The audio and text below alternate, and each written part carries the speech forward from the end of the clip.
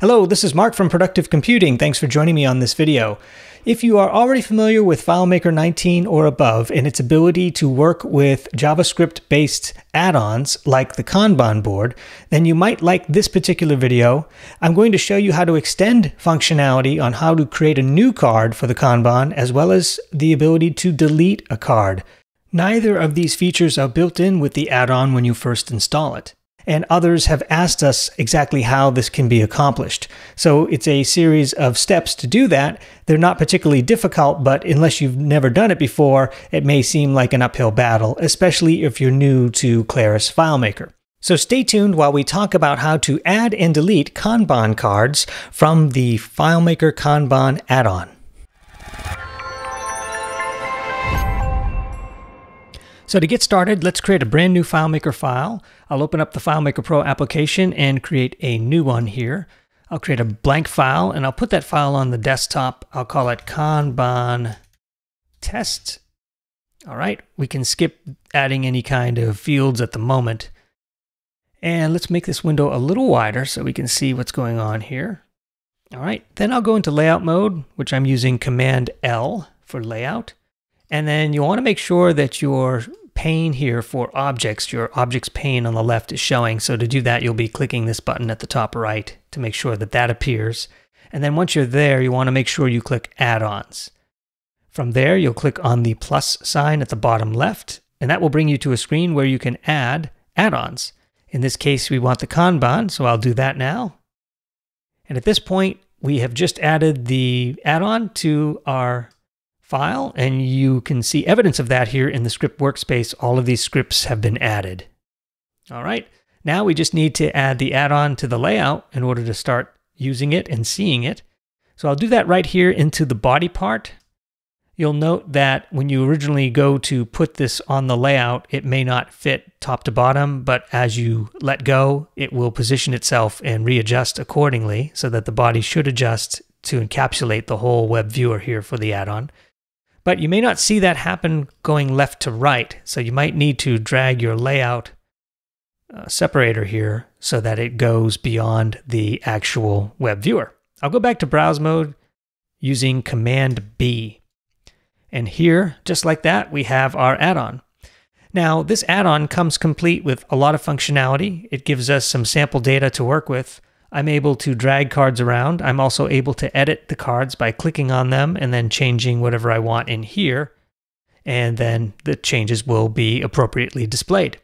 But there is no built-in way as of right now to add a new card or to delete a card. And what I'd like to do is I'd like to put a button here at the top allowing us to add a card and then we can see how that's done. So let's do that right now. We'll first add a card. I'll go into layout mode and we're going to put a button here. So first we need a script. So I'll go into script workspace here and I'm using the command shift S to get into script workspace. And then from here, I'll create a new script and I'll simply call it new card. Now what we'd like to do is bring up that window, that edit screen. Then we want to create a new record and get us in a position where we can add a new card and allow the user to enter data. So I will do that. New window is the first command here, the first script step we'll use. And then I'll adjust that so that it is a card type window, which would mimic what we've already seen when we edit a card. It goes into a card window. So we'll do the same when we create a new card. The window name I'll leave blank. I'll put the layout though the same layout that we use for the sample data, the one that we're using now. I happen to know it's called Kanban sample data. If you didn't know that ahead of time, you could kind of preview the layouts one by one and see which one represents that data entry screen. I'll leave all the other settings their default value. So now I've got a new window. Now this particular window may not be sized appropriately. So the next command I'll use is adjust window. And then I'll select resize to fit. Then we actually have to create a new record. So I'll do that, new record. And that should be it. We'll have a blank record. I'll be able to fill in the information. So long as I fill it in correctly and push the close button, we'll have a new record displaying within the Kanban board. So let's go ahead and do that now. And I'll use this button tool to make a plus icon. So I'll use the icon only and choose the plus. I'll make the pixels a little bigger. Let's say, well, let's say 25 points so we can see it better. And then I'll have that button perform a script here. And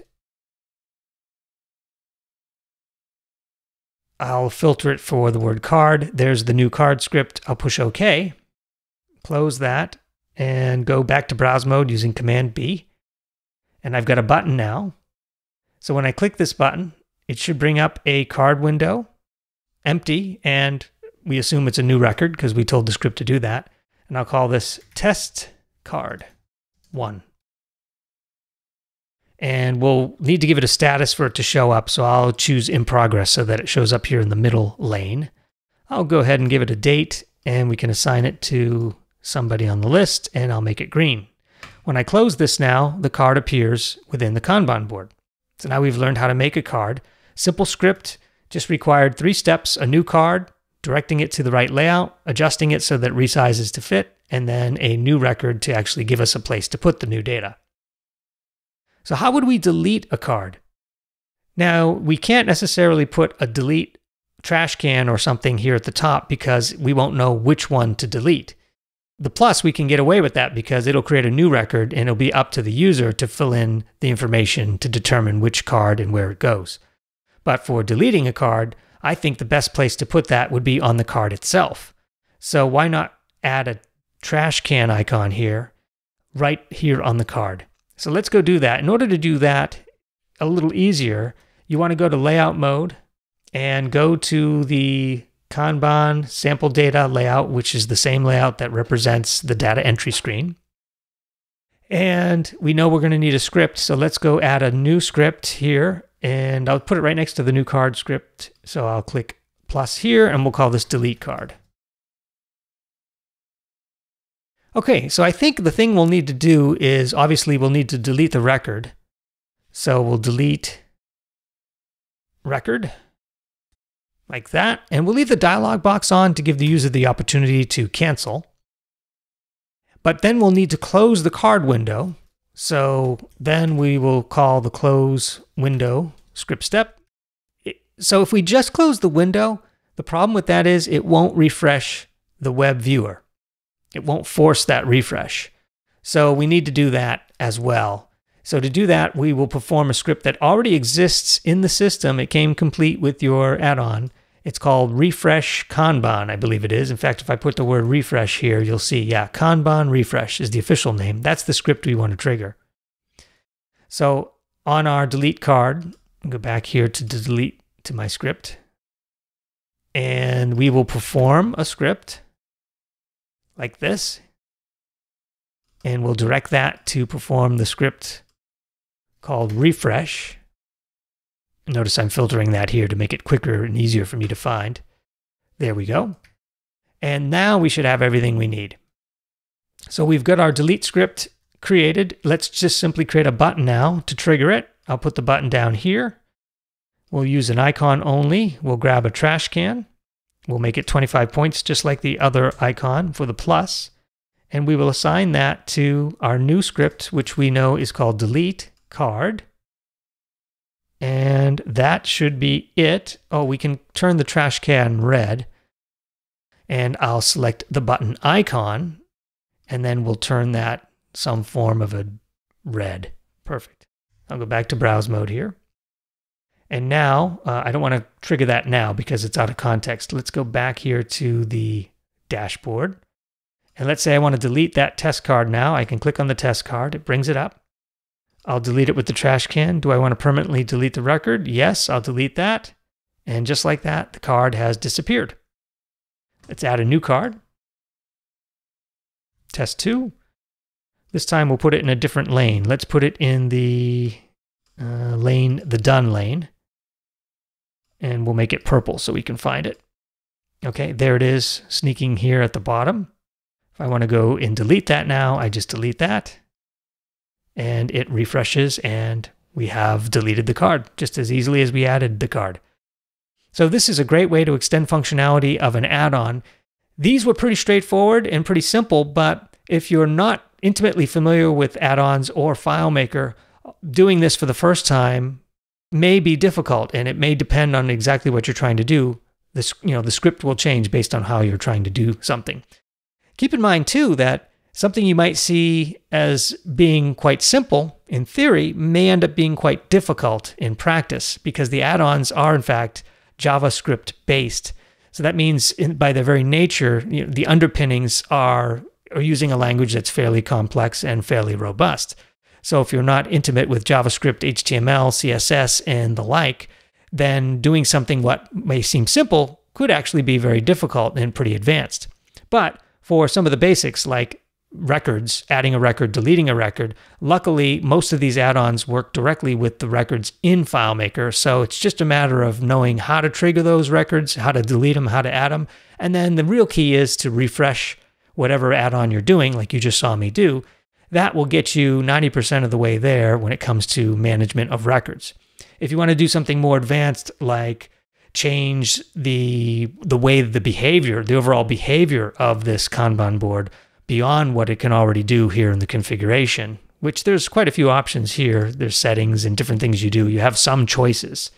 You certainly have choices over what fields you're looking at. But other things like, for instance, what if you want the border of the Kanban thicker? Or what if you want a semi transparent card based on a condition? All of those things are more like advanced options. And in order to change that, you're going to need to get under the hood in a serious way, meaning you may need to manipulate JavaScript, the CSS, or the HTML, or a combination of that in order to pull off that kind of functionality. And that's really an advanced thing. But for the most part, if you can live within the concept of how this was originally created and within the way that it works, um, assuming you're not really familiar with JavaScript, HTML, and CSS in a meaningful way, uh, then you'll probably have most of your needs met. Anyway, this gets the juices started for what you could possibly do from here. Let me give you one more example before I let you go on how you can add a new card, but have it be a little smarter than just a generic card. So we already created a script that when you create a new card here, it's completely blank and then you fill it out. Well, what if you wanted to have a plus sign specific to when something is a to do and you want it to pre fill in that to do information? So let's go do that now. I'll go to layout mode and I'll duplicate this existing button since it does already a lot of what we want and it looks the way we want it to look. I'll hold the option key and drag this out and that will duplicate the object and make a new button.